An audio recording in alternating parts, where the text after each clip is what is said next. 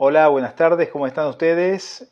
Espero que estén muy bien. Les damos la bienvenida en el Instagram Live de Fundación Atlas, donde hoy charlaremos con Lucas Blaset desde Chile. Eh, mi nombre es Martín Simonetta, como ustedes saben, acá está uniendo Lucas, analista político, ahora lo vamos a presentar. Eh, vamos a sumarlo a la charla. Eh, aquí estamos esperando que Lucas Blaset se sume a la charla desde Chile. Vamos a hablar sobre las elecciones en el vecino país. ¿Cómo estás, Lucas? Hola, hola. ¿Qué tal? ¿Cómo estás? Bueno, bueno. ¿Me escuchas bien? Yo te escucho bien, te veo muy bien. Sí, te escucho perfecto. Perfecto, perfecto. Bueno, ¿cómo anda todo por allá en vísperas de la definición electoral?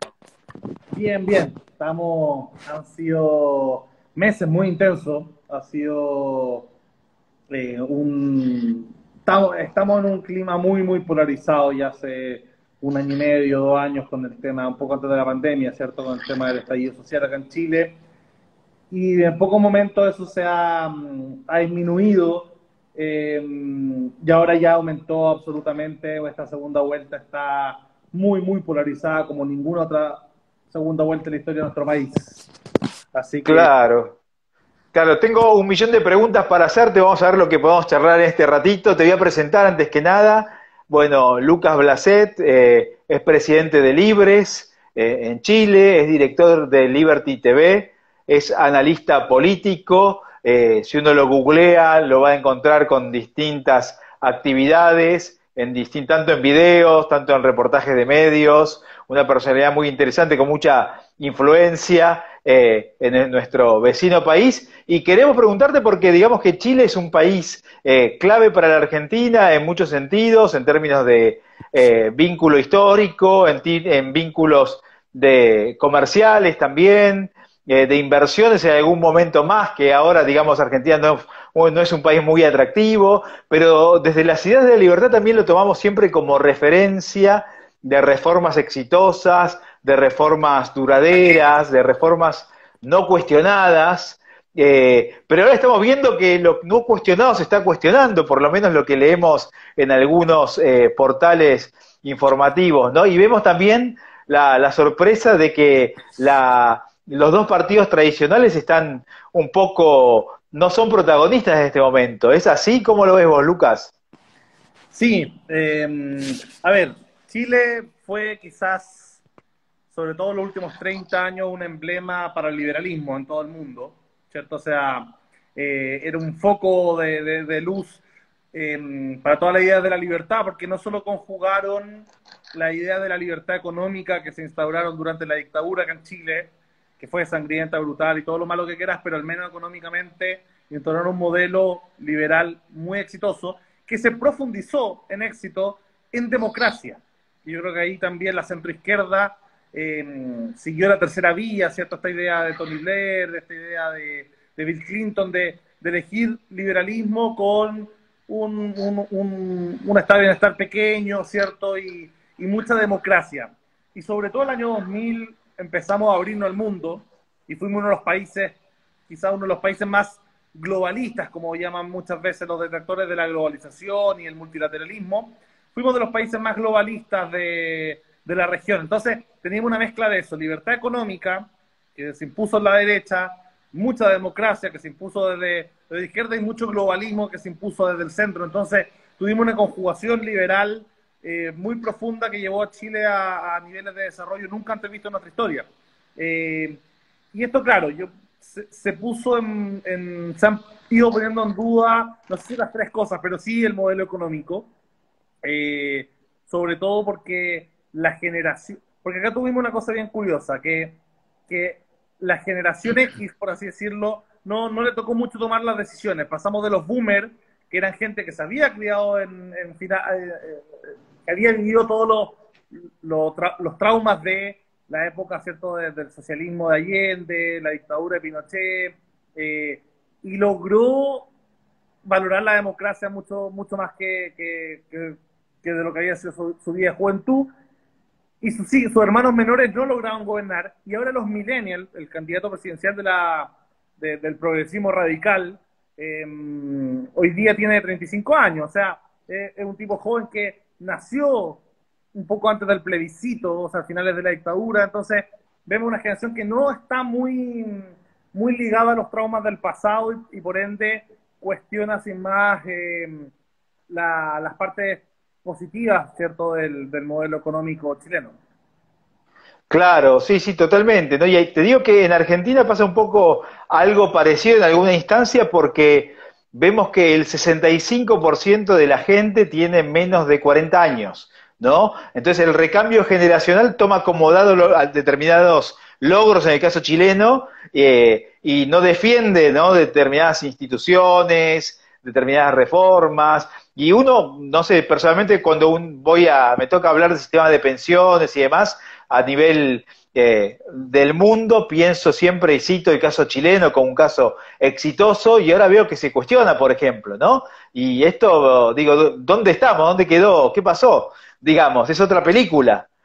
Ahí los guardianes un poco de, este consenso liberal que teníamos, ¿cierto? Por, un lado la centroizquierda, tercera vía, una democracia, una socialdemocracia muy soft, y una derecha liberal conservadora mantuvieron el equilibrio durante 30 años, más tirado para centro izquierda en cuanto a, elecciones ganadas, pero siempre con mecanismos eh, contramayoritarios que, permitían que, o sea, que, incentivaban que las reformas siempre fueran muy pausadas, muy lentas, indistintamente de lo que la fiebre de la ciudadanía quería en un momento u otro, y eso se quebró. La, la coalición de gobierno de centro derecha salió cuarta en la elección y la centro izquierda, que había ganado siete, cinco de las últimas siete elecciones presidenciales, salió quinta. O sea, eh, les, fue muy, mal, muy parecido a lo que pasó en Francia eh, en 2017, donde cierto el Partido Socialista francés y, el Partido Republicano de Sarkozy también quedaron eh, relegados cierto al cuarto y quinto lugar. Y en este caso, claro, vemos que dos grupos fuera del consenso liberal pasaron a segunda, a segunda vuelta. Eh, y son fenómenos que uno diría, que yo sostengo que no tienen tanto que ver con Chile, sino que tienen que ver con el proceso de las redes sociales, de, la crítica al, capitalismo empezó, que se empezó a desarrollar después de la crisis del 2008 en Estados Unidos, ¿cierto? Eh, porque uno ve, ganó Joe Biden en Estados Unidos, pero, pero por suerte, en el fondo. Eh, la, otra opción era en, un momento una muy de izquierda del Partido Demócrata, ¿cierto? Bernie Sanders, y por otro lado Trump, que había sido, que estaba a la derecha del Partido Republicano, más del estilo Bush, ¿cierto? Con, estos temas de proteccionismo, guerra comercial, em, dinamitar cierta, en cierto sentido la institucionalidad. Entonces en Chile está pasando algo similar. Vemos a, a dos grupos bien extremos para lo que era el consenso liberal o el consenso demócrata que teníamos en Chile, eh, y, bien parecidos a sus versiones eh, extranjeras occidentales, ¿cierto? Yo creo que, que, que, Gabriel Boric, que es este progresista radical, eh, en su momento se inspiró mucho en lo que es el proyecto de Podemos de España, ¿cierto? El mismo Bernie Sanders, Jeremy Corbyn, en, en, otros personajes que han salido de esta izquierda más, más radical, pero, pero un fenómeno más bien occidental que, que el típico fenómeno mm, latinoamericano chavista. ¿ah? Ojo ahí, yo creo que hay una distinción entre Gabriel Boric no es un chavista, no, no va en esa línea, sino más parecido a el proyecto Podemos, de Bernie Sanders en esa línea. Y por otra parte, eh, José Antonio Kass, que es este ultraconservador, eh, que sí tiene algunos temas de, de agenda económica muy libertaria, que algo que de menos de general en la, en la centro derecha, como este consenso demócrata fue finalmente haciendo que, que, nada fuera muy extremo, nada muy radical, finalmente tuvo que, eh, desde el lado del populismo de derecha, alguien que planteara em, profundizaciones del sistema de, libre mercado y lamentablemente para, para los que somos más liberales libertarios, esto tuvo que venir de la mano de, de conservadores o de populistas de derecha. Eh, como también ciertas, ciertos lineamientos que son de la línea más de libertades morales y libertades individuales que vinieron de la línea de, ¿cierto? de la izquierda, de esta, de esta izquierda socialista democrática. Entonces, se, da esa, curiosidad muchos de los liberales en Chile no tienen ganas de ir a votar. se, ven que, finalmente tienen que elegir con qué veneno envenenarse. Eh, populismo de derecha, populismo de izquierda. Entonces, yo creo que está, estamos en una situación bien compleja en esta polarización en Chile. Y te pregunto, eh, en vistas de la, de la segunda vuelta electoral, ¿vos pensás que se van a, refrendar eh, los, los, resultados de la, de la primera vuelta? Eh, ¿Se va a mantener esta diferencia? ¿Puede haber una sorpresa? Yo creo que va a estar muy peleado. O sea, la mayoría de las encuestas muestran que andan por cercano al 48-52. En general se ha dado una mayoría hacia mm, darle una victoria al candidato a la izquierda.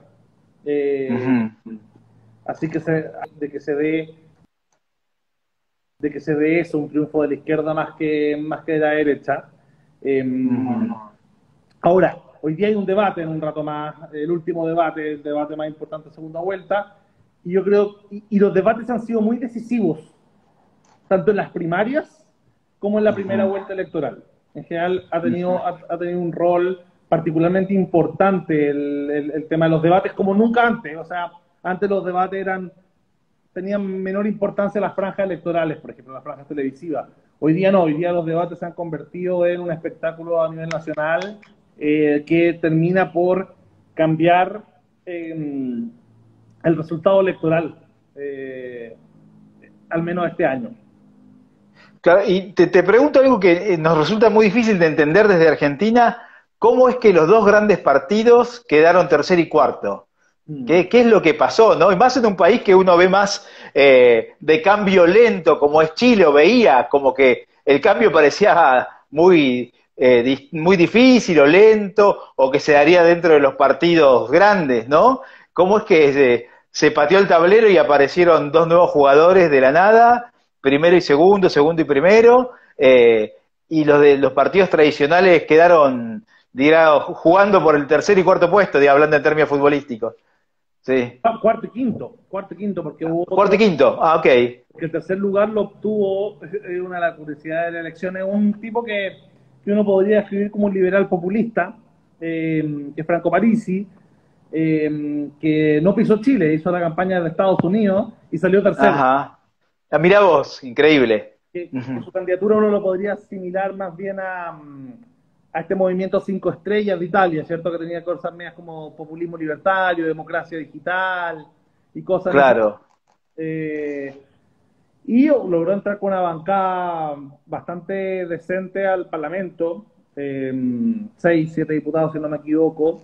Entonces, ni siquiera las colisiones, ni siquiera salieron terceras, se quedaron cuarta y quinta, las colisiones. Claro. Ahí, claro, pasaron, yo creo que hay, que, hay que analizar dos fenómenos. justamente, quiero ahí resaltar que, que, tuvimos la posibilidad en la, en la centro derecha de tener por primera vez un candidato liberal, que era eh, muy liberal en todos los sentidos, lo económico, lo político, lo moral, era un poco la síntesis de todo lo que habíamos vivido esos 30 años.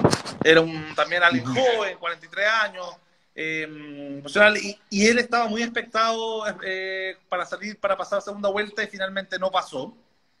Recibió todos los ataques y sobre todo por haber sido ministro de Piñera, que hoy día la claro. de Piñera está muy, muy, muy baja después del estallido social. Entonces, yo respondería a tu pregunta con, con dos respuestas. Uno, eh, el fenómeno es global.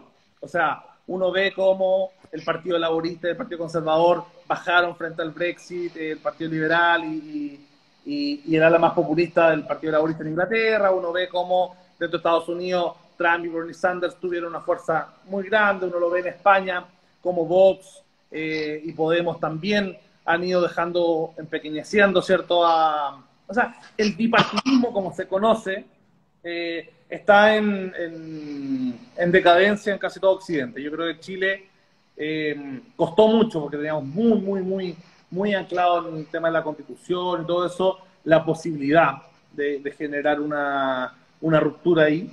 Eh, y el segundo, el segundo fenómeno explicativo es el tema del estallido social. O sea, no entiende que estén estos dos candidatos en segunda vuelta, sino es por un estallido muy fuerte que hubo en Chile, que partió con un acto terrorista, que le siguió una militarización excesiva los primeros días, quizás necesaria, pero, pero se vio visualmente muy excesiva, lo que provocó una salida de millones de personas a marchar en contra del gobierno.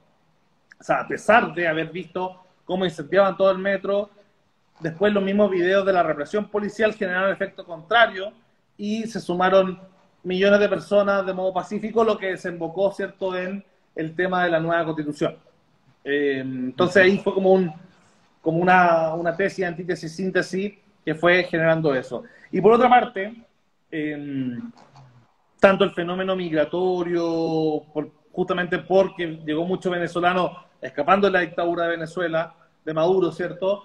Más el tema de, de, los desórdenes y el terrorismo y el estallido social y, del, y, de los conflictos de la Araucanía, que tenemos ahí un conflicto importante, donde también ha entrado el narco, donde también eh, han entrado grupos radicalizados con, con armas, ¿cierto? Ha ido generando que, eh, que el discurso de la derecha se vaya radicalizando y hoy día tenemos una ultraderecha eh, calcada a la de Trump, calcada la de Bolsonaro, calcada ¿cierto? la de los populistas como Hungría, como Polonia. o sea, van, van, van adquiriendo efectos que a mí me gusta llamar putinistas, o sea, eh, de, un factor bien parecido a cómo, cómo, Putin hace su gobierno. O sea, no acá no se está jugando libertad contra comunismo en ningún caso, como le gusta decir a la derecha, tampoco eh, democracia versus fascismo, como le gusta decir a la izquierda. Acá nos estamos enfrentando al progresismo y al conservadurismo, pero en sus versiones más radicales. O sea, tenemos un, conservadurismo muy radical. El, el, el candidato de la, de la derecha o de la, ultraderecha acá en Chile, que está en segunda vuelta, José Antonio Cast, es un tipo que estaba muy a la derecha de, los partidos más conservadores en Chile y se fue por lo mismo. Eh, claro. llevó al Tribunal Constitucional, no sé, el tema de la píldora del día después. O sea, porque es demasiado abortiva. Esto la quería prohibir constitucional a través de la Constitución. Eh, y en el, en el, caso de, Gabriel Boric, eh, por más allá que se haya ido moderando, porque los dos se han ido moderando en segunda vuelta, van, van adquiriendo, pero uno nunca sabe cuánto creerles, ¿no? cuánto es una vuelta electoral o no de alguna forma también es, alguien que partió de los movimientos estudiantiles universitarios, ¿cierto? De, cierta radicalidad de la política de la calle, no alguien que se formó los partidos de cuadro, ¿cierto? Y, fue subiendo, sino que armó ambos armaron su propio partido, entonces vemos acá un desafío importante de la institucionalidad típica que también ha cometido muchos errores en cuanto a, a no haber eh, canalizado dentro de su propia institucionalidad la renovación que se necesitaba, la renovación de ideas, la renovación de rostros. Entonces al final terminaban pagando, pagando bien caro ese tema. Y te pregunto para ir cerrando, ¿vos ves que eh, puede estar en riesgo lo que es eh, la imagen externa que hoy tiene el mundo de Chile con instituciones con determinado perfil, con una integración a la economía global, un sistema previsional eh, que es modelo para el mundo, eh, un Estado relativamente transparente, pequeño, controlado, y puede haber un hay riesgos en un giro, no digo un chavismo, pero sí un, un crecimiento del tamaño del Estado que, por ejemplo, tenga efecto sobre el crecimiento en el, en el mediano y largo plazo? A ver, yo creo que una de las dos si va a perder. O sea, no vamos a seguir siendo el Chile de, de Ricardo Lago o de, o de, Sebastián Piñera, lamentablemente. Em, probablemente si gana José Antonio Cast, sí nos vamos a ver enfrentados a pérdida de prestigio internacional, eh, sobre todo porque es muy anti-ONU, por ejemplo, es muy anti-multilateralismo, estos pactos, ¿cierto?, de, que, va, que van guiando un poco, no sé, la, defensa de los derechos humanos, eh, y la democracia que en general Chile era muy pro eh, estos temas. Tiene mucho nacionalista y proteccionista metido dentro de su, de su fila. Entonces, eh, eso se puede ver obviamente mermado si gana José Antonio Casa. En el caso de Boric, evidentemente se va a ver también, si llega a ganar él, probablemente esta, esta idea del milagro chileno en, términos de economía y, y un Estado pequeño se va a ver obviamente en riesgo eh, disminuyendo. Ahora, la buena noticia en ambos casos es que al ser tan pareja la elección, la primera vuelta que determinaba que iba junto con los diputados, ¿cierto? Que, iba junto con los, con los parlamentarios, eh, se daba eh, de un resultado muy parejo. Radicales de lado y lado, pero harto centristas. O sea, tenemos un abanico bien grande que si uno más o menos ve derecha izquierdas y centros eh, en ambas cámaras, es bastante equilibrado. Entonces, ninguno de los dos, siendo estando en las en las salas más radicales de la política en Chile, ninguno de los dos va a poder hacer medidas extraordinariamente peligrosas. O sea, no nos van a poder llevar en el camino de Bolsonaro con, cierto, con, con, esa forma de derecha, ni tampoco a el camino de la, de la izquierda chavista, en ningún caso. Ahora, eh, igual ninguno de los dos, para tranquilizar quizá a la gente que nos está viendo al otro lado de, de la cordillera, acá al menos José Antonio Cast no es un personaje de actitudes similares a las de Bolsonaro y las de Trump, por ejemplo. O sea, tiene muchos mejores modales, por así decirlo. sí. Eh, eh, es, un, es un populista de derecha con buenos modales. Em, y en el caso de Boric, él es de un progresismo radical. Él le ganó en una primaria. Obviamente el Partido Comunista va a ser parte del gobierno, pero, pero está lejos de ser el, el, como le gusta mucho decir, dentro de la, de la, de la fake news de, de, la derecha que el Partido Comunista controla este, a Boric, no es así. Eh, realmente no se llevan bien, o sea, son como, como disidentes, ustedes en Argentina lo deben haber visto, ¿cierto?, entre estas peleas dentro del justicialismo, ¿cierto? Acá es bien parecido, eh, pero él sí viene de esta izquierda más social justice warrior, como uno la conoce, ¿cierto?, en, el meme norteamericano, eh, de esta izquierda más, más radical, feminista, ecologista, eh, eh, un poco como, como de corrección. Sí, los temas de moda de la nueva izquierda. Claro, claro, como más de la línea de la corrección política. Eh, viene más de, esa línea más que una línea puramente chavista. Ahora, hay elementos chavistas, sí. En el otro lado hay elementos trampistas y, nacionalistas también. entonces ahí yo creo que, que, hay liberales apoyando las dos candidaturas. En Chile hay más o menos hay dos partidos liberales importantes, están uno cada uno, eh, apoyando, se sumaron en segunda vuelta uno cada uno, hay movimientos liberales más pequeños, eh, que también se han ido sumando bastante equilibrados entre las dos candidaturas y, esperemos que, puedan tener algún efecto compensatorio dentro de las alas más radicales del que gane, al menos. Eh, esa es como la esperanza que tengo yo dentro de una situación que, es más pesadilla que ílica, ¿no? Claro, Lucas, muchísimas gracias por esta posibilidad de hablar con vos. Eh, te presento nuevamente, Lucas, presidente de Libres, director de Liberty TV. Estuve viendo los videos que, están que están en tu canal de YouTube, muy, muy interesantes. Invito a, los, a las personas que los sigan, que los vean. Analista político. ¿Y dónde te puedo seguir en las distintas redes? En Twitter estoy como Lucas Blaset, en Facebook igual, y lo invito, y, te agradezco eso, también los invito a que suscriban a Liberty TV en YouTube, que es donde subimos cierto todos estos programas, hemos entrevistado a, varias gente del mundo libertario y liberal del mundo latinoamericano, eh, y bueno, y, en Facebook también, Liberty News. Así que, bueno, muchísimas gracias, Lucas. Muchas gracias a todos los que estuvieron presentes. Esta entrevista va a estar en segundos disponible en Instagram, ya no live, sino grabado. Y en un ratito va a estar en todas las redes sociales de, de la Fundación Atlas. Un fuerte abrazo, Lucas, nuevamente y seguimos consultándote a ver qué, qué pasa con nuestro vecino país y socio Chile. Gracias. Hasta luego, que estén bien. Un abrazo, chao, chao, gracias. Chao.